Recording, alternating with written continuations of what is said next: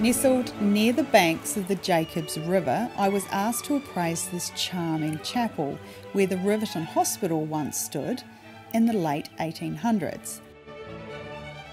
I was just in complete awe of the meticulous work that had gone into preserving this beautiful building, now completely restored to a modern, elegant, romantic home or Airbnb. The cherished Protestant church became the cornerstone of the Riverton community by 1963.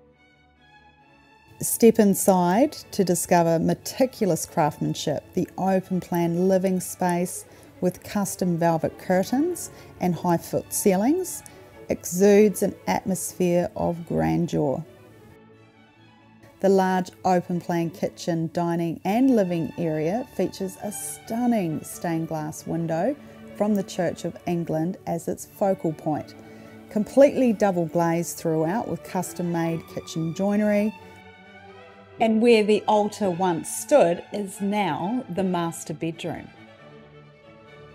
The expansive bedroom is a haven of luxury, boasting a clawfoot bathtub surrounded by gorgeous tiles custom copper and brass fittings, and the original vanity. This is not just a home, it's an opportunity to be a part of Riverton's captivating history, seize the chance to own a piece of this unique heritage or romantic Airbnb.